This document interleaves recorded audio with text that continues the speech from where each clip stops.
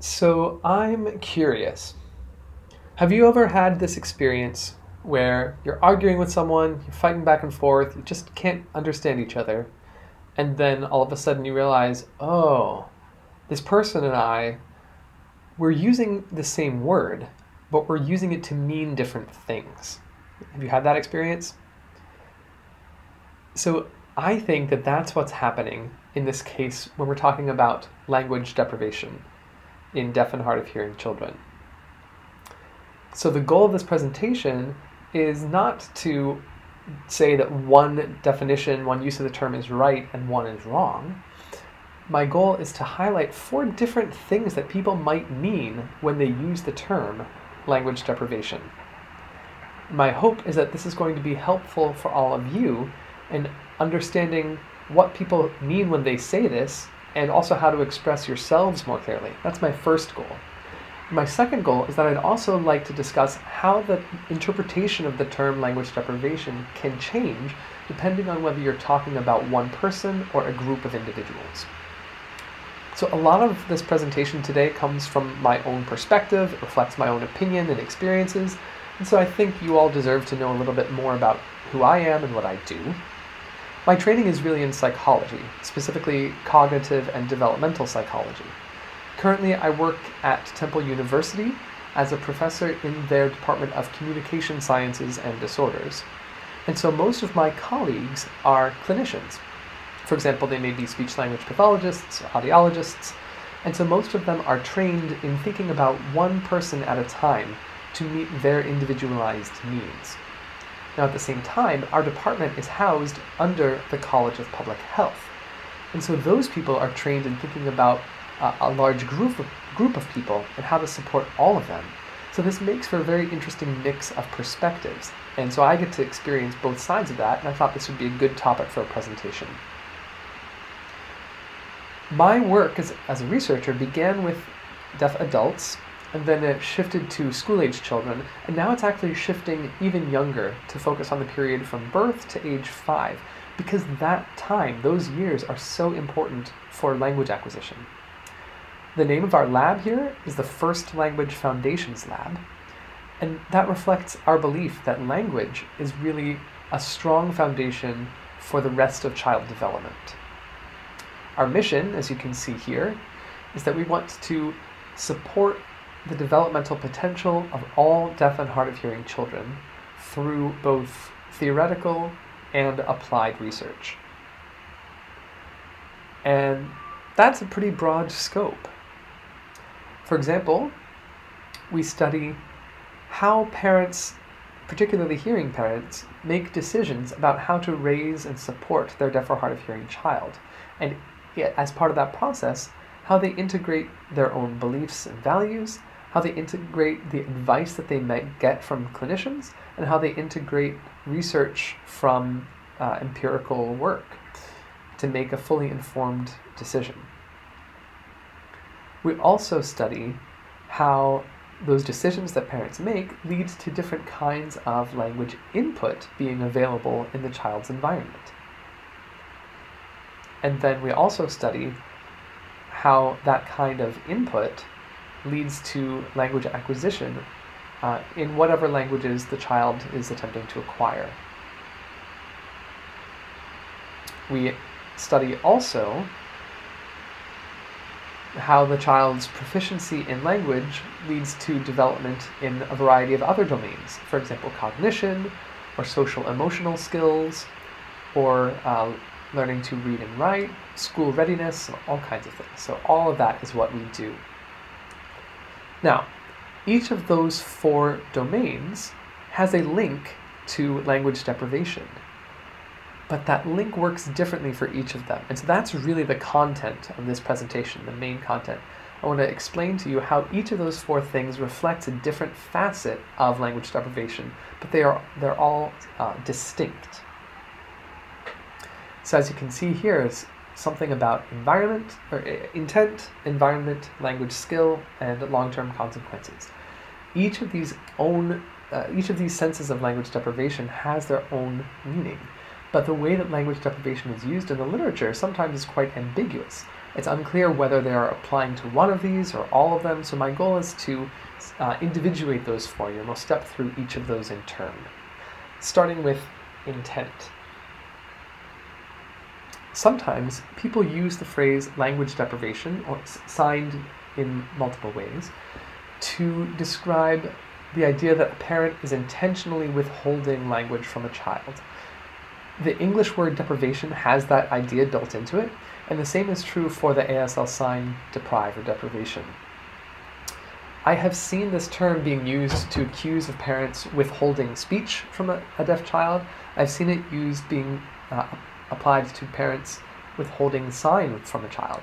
But one thing I've never seen is a parent who believes that that's actually what they're doing. Every parent that I have ever met actually believes that they are providing language. Nobody believes that they are withholding language. Still, this term is sometimes used to attribute intent. A second way that people use the term language deprivation is to talk about the language environment, to talk about what kind of input is available for the child to acquire. So when we're talking about what's in the environment, we're not talking about any choice or, or, deliberate motivation or intent on the part of the parent. We're talking about what really is there in the environment. To really unpack this point, we need to distinguish between language exposure and language access. So let me show you what I mean. Language exposure is about what kinds of signals we are sending to a child. Whereas language access is talking about what kind of signals is that child receiving. So exposure, again, is about sending signals out. Access is about taking signals in in a way that they sort of make it into the mind. So language exposure is necessary, but not sufficient. Language acquisition really depends on language access. Now for hearing children, exposure and access are typically the same, but for deaf and hard of hearing children, they are often not the same. So sometimes parents' intention is to provide lots of language exposure. But even when that happens, it's still possible that the child doesn't have access to that input. And so the environment doesn't contain the kind of input that is accessible to the child. So when people use the term language deprivation in this sense, that is sometimes what they're talking about. A third thing that people might mean when they talk about language deprivation is that we might be talking about the child's own proficiency in language, their fluency, their comprehension, the ease with which they use the language. Now, when we're talking about that, we're not talking about what's in the environment, and we are clearly not talking about what the parents were intending. We're really focusing on the child's own language skills. A fourth thing that people sometimes mean when they use the term language deprivation is talking about the long-term developmental outcomes or consequences in different domains that may depend on language, but are themselves distinct from language. For example, cognition, or social emotional development, or reading and writing, mental health, physical health, quality of life, and many, many other things. So all of those domains do seem to depend on language, but they are dissociable from language or distinct from it. And again, this fourth thing, you know, it's it's about the child, just like the third thing is, but it's not about the child's language. It's not about the child's environment. It's not about the parent's intentions. So all of these uh, ideas are related but distinct. This fourth point actually has another sub-categorization or sub-distinction, which you can see here. So there are, we can think about two kinds of long-term impacts. One is what we might call subclinical consequences. So these are less obvious things that you wouldn't necessarily see at first glance, uh, but they are still reflecting ways that a child is performing less than their full potential. On the other hand, we're talking about language deprivation syndrome, which is a much more severe condition more easily detectable, where people have difficulty in many domains. Both of these are important, but not every deaf or hard of hearing child will have clinically significant language deprivation or even the more mild form.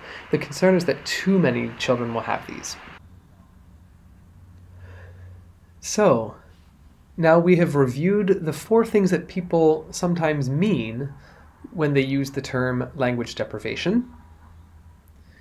But I don't want to depend solely on my own intuition or my own opinion.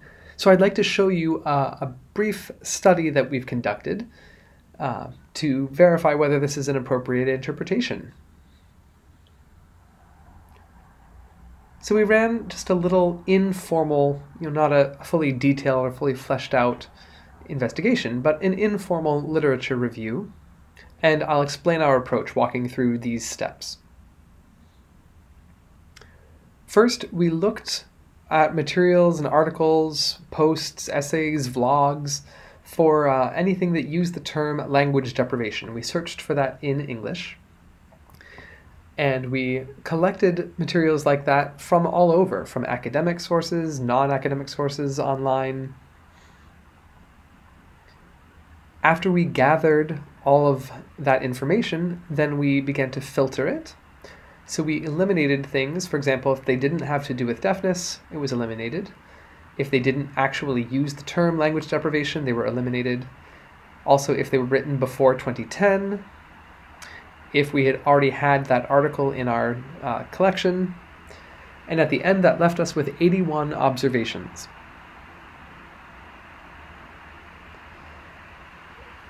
We then took those 81 observations and classified them as belonging to three types of literature either peer reviewed literature, uh, gray literature, which means it was written by an expert uh, but didn't go through the peer review process, or it was written by you know an, an expert or published by a professional organization that works in, in these areas, such as those listed here. And then the third category was everything else, and we were calling that lay literature. It just means sort of ordinary, something that anybody could write. So those were the three classifications. And then we coded those results. And if the article used language deprivation to refer to intentionality, anything sort of withholding or denying or depriving on purpose, then we checked yes for category one. If it was used to describe the child's environment, we checked yes for category two. If it was describing the child's language proficiency, it was a yes for category three. And if it was talking about long term impact in other areas that were not specifically language, then we checked yes for four. If they used the term but did not provide any clue as to its meaning, we called that a zero if they used the term to mean something that we didn't have listed, we gave that an X. And then if they used a term that meant uh, multiple things, that it included multiple senses, we rated each of those independently.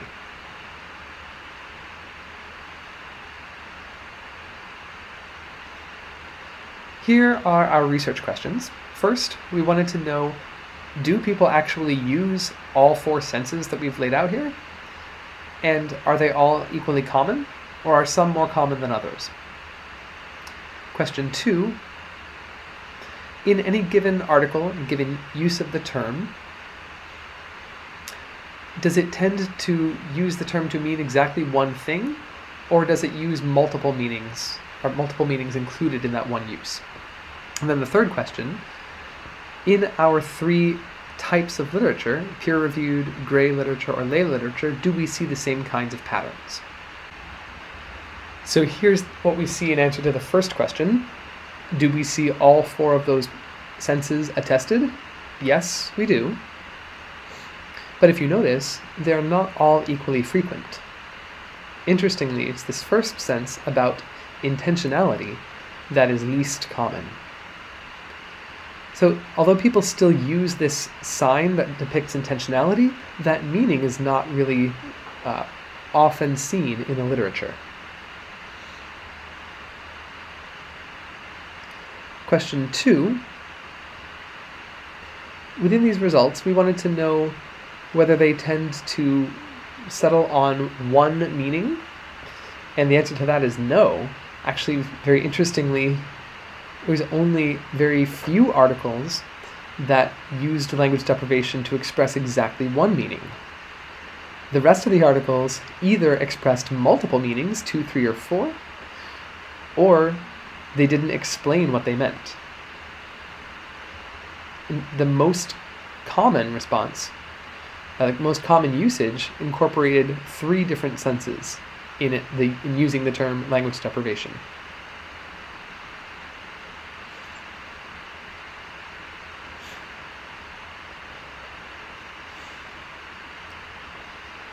So, as we know, there are these four different senses, and when articles used more than one sense, we asked which ones tend to get combined together.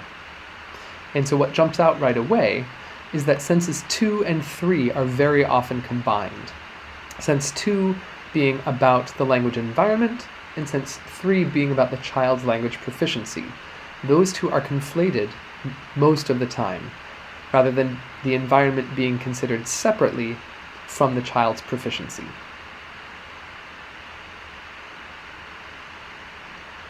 For question three, we wanted to know whether our three groups of literature, peer-reviewed, gray literature, or ordinary lay literature, showed similar patterns. And the answer was pretty much yes, in general. You can notice uh, that the peer-reviewed literature just tends to be tends to talk about more things in general. That the values there are higher, but the overall pattern within those values is quite similar across all three groups. Meaning that it's not the case that academics somehow know better. No, they too are struggling with the same kinds of things. And likewise, when we look at uh, these plots, we see that all three types of literature are again showing the same tendencies. They are all not typically picking or using language deprivation to mean exactly one thing. They typically mean it to use multiple things.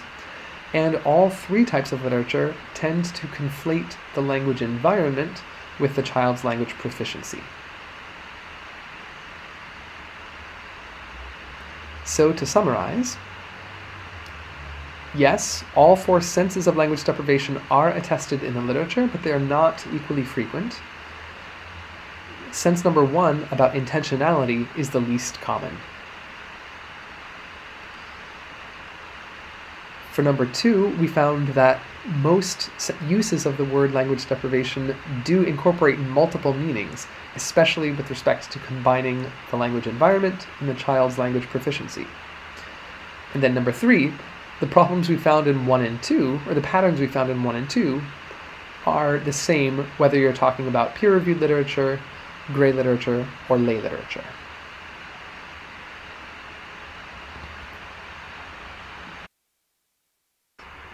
So now we're ready for the second part of this presentation. Earlier we talked about the four senses of language deprivation, and that is still important. But in this part, I want to point out that even if two people agree on what they're talking about, for example, if they both think they're talking about sense three, they can still misunderstand each other if one of them is talking about an individual and the other is talking about a population. And that tendency often uh, depends on the discipline that you're in or what you're used to doing. So, for example, if you're a parent or if you're a clinician, you may be used to thinking about one child at a time. And that makes sense. It's a little bit like somebody who is thinking about one tree. But now suppose that you are somebody who is used to a role like being in research or public health or policy. Those kinds of people are accustomed to thinking about the whole forest. So now, I wonder, you know, it may seem like those two perspectives ought to be pretty similar, right? But I'm going to argue today that this interpretation is really important. I'm going to explain that in more depth. To do that, we need to take a little detour and talk about lead paint. And then I promise we're going to get back to deaf and hard of hearing children, okay?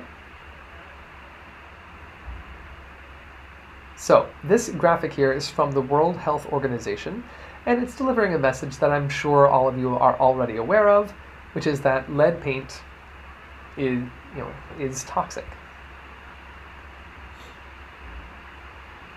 But what you may not be aware of is how we figured that out.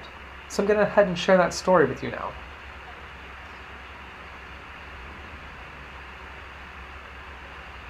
So Western medicine has known for a long time that lead has adverse health consequences.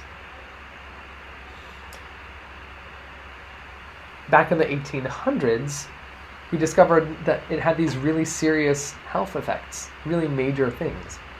By the 1900s, we were beginning to discover slightly more mild impacts, but still pretty serious health problems. In the 1960s, we started discovering the link between lead and cognitive impairment, but lead wasn't banned until 1978. And so you may be wondering why. Well, the story has to do with this guy, whose name is Herbert Needleman. He realized that we may have been doing everything backwards. Up until he came along, the tradition was to study people who had really severe lead poisoning. So severe, in fact, that they would have been hospitalized because of it. And then when they get to the hospital, then we would study all of these other problems that were associated with the lead poisoning. What he realized is that we needed to look at what was happening before they got so poisoned that they needed to be taken to the hospital. Maybe lead was already having detrimental impacts on their lives that we were overlooking because we weren't studying these people prior to hospitalization. So he realized that we could measure lead content in people's baby teeth as they fell out, and so he collected baby teeth, crushed them, analyzed their lead content, and then found the bottom decile, the bottom 10% of children who had the least lead exposure, and the uh, top 10% of lead exposure among children who had not been poisoned enough to be hospitalized, and then compared the low lead levels to the high lead levels and measured their intelligence. So he compared the IQ scores of the low lead group and the high lead group. Now recall, as you know, that lead uh, IQ scores have an average of 100 in a typically healthy population. So Go ahead and guess for me. What do you think the low IQ, the, the IQ of the low lead group was on average? Go ahead and guess. It was 106. So now go ahead and guess what you think the average IQ score was of the group with high lead exposure. What do you think? Have you guessed? It's 102. So are you surprised? You may be surprised to know that the high lead exposure group had an IQ that's actually still a tiny bit above normal. It's really not that bad. So now maybe you're wondering, is, is that it? Why then did we ban lead paint? So that is a very good question. And to answer that question, that's going to lead us back to talking about deaf and hard of hearing children. First, though, we need to talk a little bit about statistics. Apologize, but I'm going to do my best to explain. So IQ scores follow a normal distribution. By definition, 68% of scores are going to fall within this green area. But because we are not typically concerned about children with IQ scores that are higher than that, we tend to think and talk about children who are within or above the average range. So there really should be 84% of children in this green area. The kids who we're concerned about are in this lower tail, in the red area. And there should only be 16% of scores in that area in a normal, healthy population. We would just expect no more than 16% of the scores to be there. So now I want you to see what happens if we shift the mean of the whole group just four points lower. We're not going to shift it radically. We're just going to um, take a four point decrease just like we saw in the, I, the lead paint example with IQ scores. So when we shift the whole mean by four points, now we see that there's 23% of cases in that red area. Before it was 16%, now it's 23%. That means there's 1.45 times the risk, or in other words, a 45% increase in the risk of scoring in the red area. And that's pretty serious. Right? So that is why a four point shift in IQ was enough for us to ban lead paint. It's not really about the score of the average kid, 102 is still fine. It's really about if that whole distribution is shifted downward, that means that 45% more kids are going to be scoring in the red area, and that's the concern. So now suppose, let's just suppose that we didn't ban lead paint until there was a more severe shift in IQ. Suppose that we decided, eh, IQ of 102 is fine, we can tolerate that. We're going to wait to ban lead paint until the average IQ score is at the at the end of the normal range. So which is a 15 point shift. You know, if we see that, then we'll ban lead paint. So here's what it would look like if we had waited until that point. If the average score was at the bottom end of the normal range, that means that half of the children, 50%, would be in the red area. And that would be having uh, three times the, the risk of scoring in the red area compared to a typically developing population. And we definitely don't want that. It's a 216% increase in risk. Okay, so now we're ready to talk about language scores in deaf and hard of hearing children. A lot of language assessments use the same kind of test structure as IQ tests. So, in many language assessments, the average score is 100, and the average range goes from 85 to 115. And we should really only expect to see about 16% of scores below 85 in a normal healthy population. So, what do outcomes actually look like in deaf and hard of hearing children?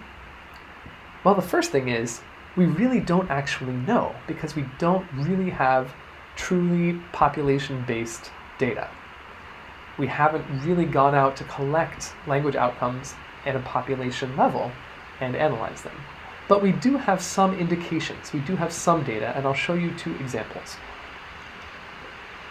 we have two large scale studies about deaf and hard of hearing children. And these studies measured language outcomes at or around school entry. The first study, the OCHL study, they focused on children who are hard of hearing. Uh, so they used traditional hearing aids, and their hearing levels were typically in the mild to severe range. And so what they found was that deaf, so excuse me, hard of hearing children had scores that were 14.3 points below hearing controls. So here's a, a, graphical representation of what that looks like.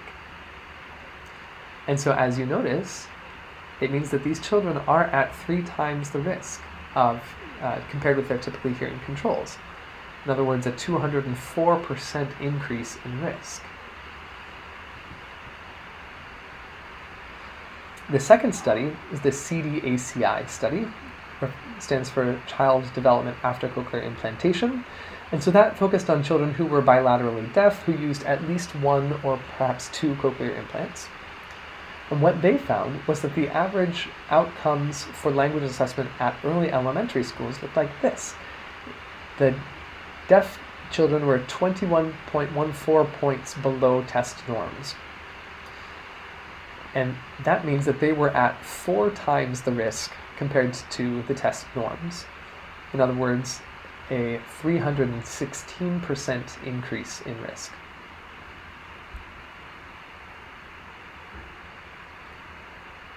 So, what does all that mean? Well, I think it's really going to depend on whether you're talking about a tree or a forest. For example, if you think about one tree,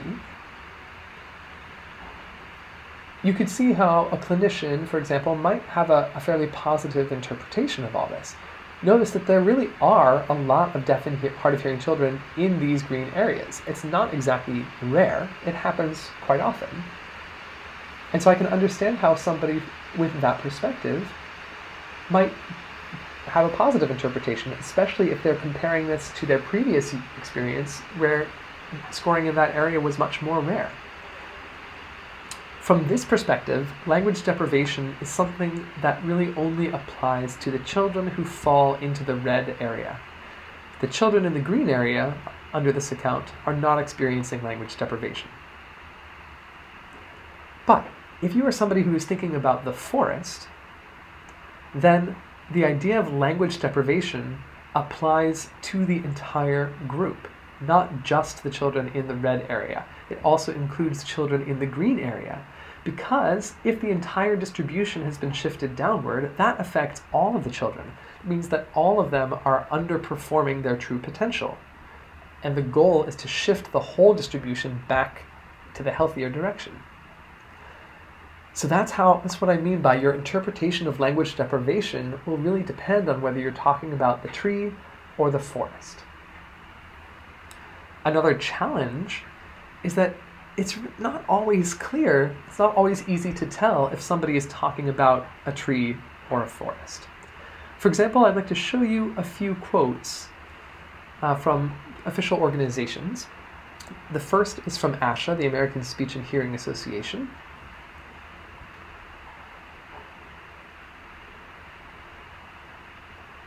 So is this talking about a tree? One tree or a forest? Let's also look at a second quote from NCHAM.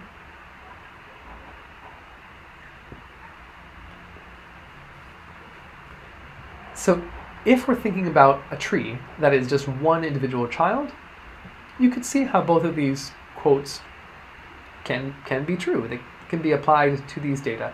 They may be a little bit vague, but you can see how they apply. But now, if we're thinking about the forest, it's a lot harder to see how those two quotes are really compatible with data like we see here. From that perspective, it comes across as a little bit more misleading. So, what now? Well, my primary objective in this presentation was to help all of you communicate more clearly, both when you're expressing yourselves and when you're understanding other people's interpretations, what they mean or what they don't mean when they're talking about language deprivation. So my hope is that next time you run up against somebody who's using this term, language deprivation, you'll be able to figure out exactly what their meaning is and if it's unclear, you might be able to help them figure out what their meaning is by sharing this framework with them. I'm hoping it's going to help all of us understand one another better. The second thing, you know, as I was preparing this talk, I was thinking about different famous environmental conservationists, people like John Muir or Rachel Carson, but really, I think the very best example I could find is from Dr. Seuss, the Lorax. The Lorax treasures each individual tree and cares for the forest together. I think we all need to imitate its example, to care about both the individual trees and the forest. The third thing you can do is to find your needleman figure out what's happening in your state. Is somebody already doing population level outcomes analysis with language? If so, that's awesome. In that case, go ahead and figure out how those data are being used and support the idea of data sharing so that we can all learn from one another's achievements and challenges and mistakes. And if nothing is happening in your state, then it may be up to you to be the Needleman. Maybe some of you are familiar with uh, the, the movement of Lead K. those states are shown here in yellow and purple. Those are the ones that have passed LEAD K. That is taking a legislative approach to collect language outcomes data at a state level. But that's not the only approach. You may or may not know about uh, NECAP, the NECAP project, the National Early Childhood Assessment Project. Those states are shown in green as well as purple. So those states are doing pretty much the same thing, pretty close to the same thing as LEAD K, but uh, without taking a, a approach that involves passing laws. The states that are in gray means that as far as I'm aware, they're not measuring language outcomes in the forest, so to speak. And so if you're in a gray state, I would encourage you to get in touch with your EHDI coordinator or with other state level officials and ask why not? What, what are the barriers here that are preventing this?